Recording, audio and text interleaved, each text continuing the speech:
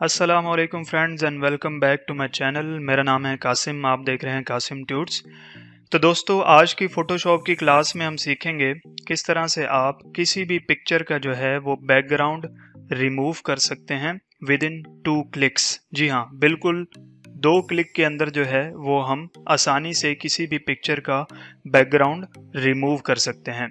तो चलें वीडियो को स्टार्ट करते हैं। सबसे पहले यहाँ पर मैंने एक पिक्चर ले ली है। अब पिक्चर को आपने यहाँ से देखना है कि आपकी पिक्चर का लेयर जो है वो लॉक्ड ना हो। इसको आपने यहाँ से अनलॉक करना है। अनलॉक करने के बाद अब हमने क्या करनी है जी? सिलेक्शन करनी है इस पिक्चर की।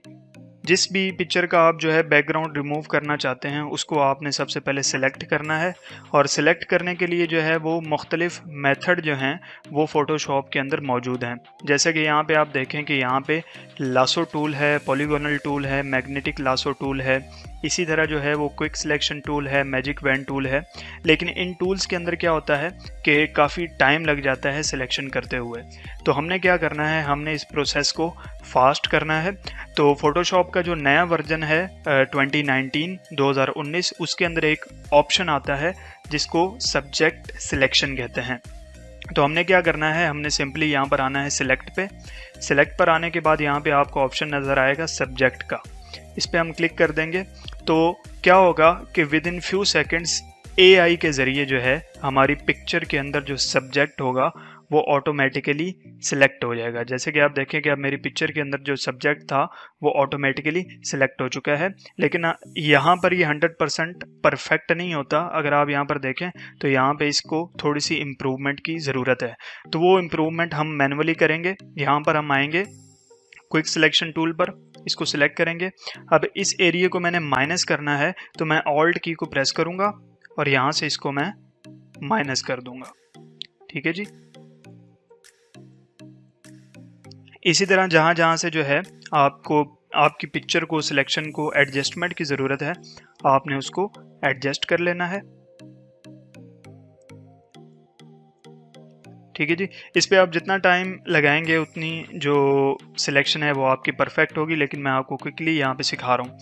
अब हमने नेक्स्ट स्टेप क्या करना है? सिंपली आपको यहाँ पे एक ऑप्शन नज़र आ रहा होगा लेयर मास्क का। इसको आपने क्लिक करना है। तो अब आप देखें कि विद इन फ्यू सेकेंड्स हमारी पिक्चर का जो बैकग्राउंड है, वो ईजिली रिमूव हो चुका है। और ये जैसे कि मैंने कहा था, सिर्फ़ दो क्लिक्स के अंदर हम बैकग्राउंड को रिमूव करेंगे। तो वो दो क्लिक्स कौन से हैं? पहले आपने सेलेक्ट पर आना है सब्जेक्ट को, यहाँ से क्लिक करना है। फिर उसके बाद आपने लेयर मास्क को क्लिक करना है तो आपकी पिक्चर का जो बैकग्राउंड है, वो रिमूव हो जाएगा।